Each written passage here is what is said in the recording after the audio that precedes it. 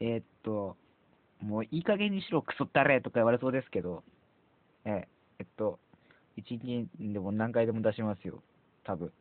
なんか自信ないけど。えっと、箱はプレメモですが、中は、ちょっと余計なカードがちょっとあるんですが、うそ、これ、ちょっと待ってよ。これ、これ全部俺かバトルじゃん。これ全部俺かバトル。間違えた。これじゃなくて、あとちょっと、ちょっと待ってくださいね。これも別で、えっと、ちょっとね、ミラバとかね、ちょっとたくさんあるんで、ちょっとレア、レアをちょっとね、紹介していこうと思います。まずは、ヒソカ。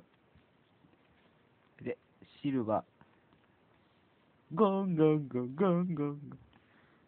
キルア、キルアです。ん？このキラってレアか？あ、スーパーレアか。あれ？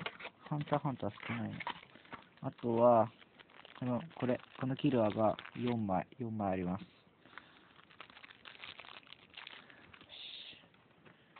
えっと、ドラゴンボールもあるんですけど、ドラゴンボールはちょっとスリーブ入れてないんで、ちょっとスリーブ足りなかった、足りなかったっていうか、と、ちょっとね、スリーブ入れようと思ったけど、結局デッキ入れちゃう。はい。特にね、あんまレアカード出ない、出るっちゃ出るんですけど、トランクスとか、出てるんですけど、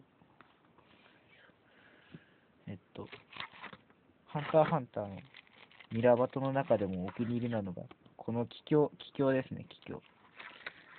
あとどうだろう。レオリオ、レオリオ、レオリオです。はい。特にもうないですね。水見式。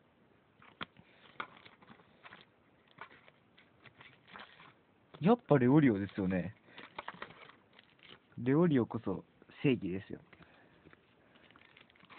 はい。特にもうネタもないんで、じゃあ、えーっと、そろそろ終わります。えっと、えっと、見てくれてありがとうございました。はい。